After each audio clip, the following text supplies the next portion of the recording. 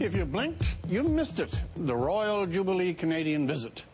Charles and Camilla made the Canadian drop by, but Jubilee year or no Jubilee year, their visit only showed that with very few exceptions, and Charles is eminently not one of them, the royals in general have lost their luster.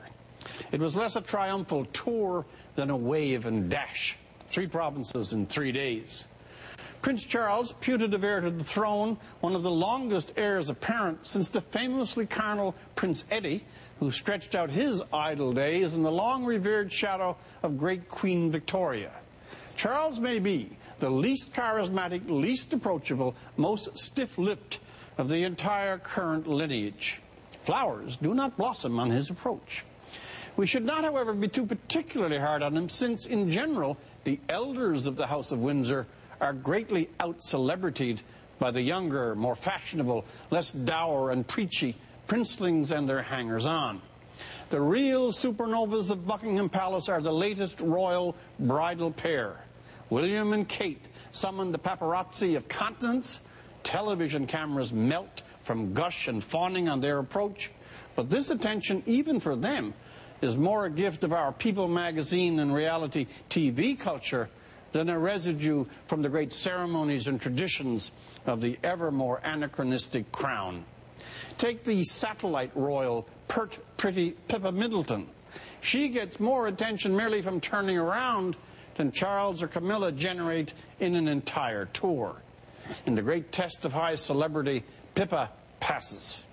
Poor Charles and Camilla are even making a visit to the United States, which last I heard was an outcrop of 13 rebellious col colonies. Is Charles now wooing the anti-royalist Americans?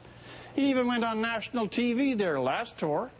And now the slavering Katie Couric has snatched for one of her patented TV seances the nestling princes, Harry and William.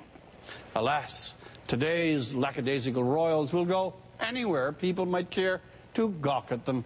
Some have even visited Hollywood. There is really only one royal oak in this field of shrubs and alders, and that is Her Distinguished Majesty herself, Elizabeth II.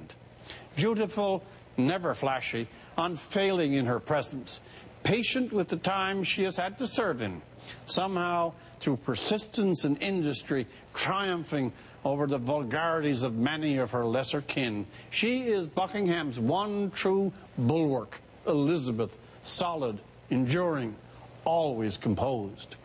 To be fair, it was nice that Charles and his wife dropped by on Canada, but mainly because they were engaged in celebrating a greater person.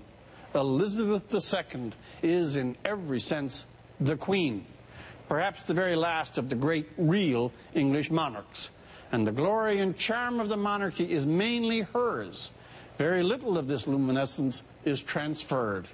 For Elizabeth in her diamond year, well, the words are already written.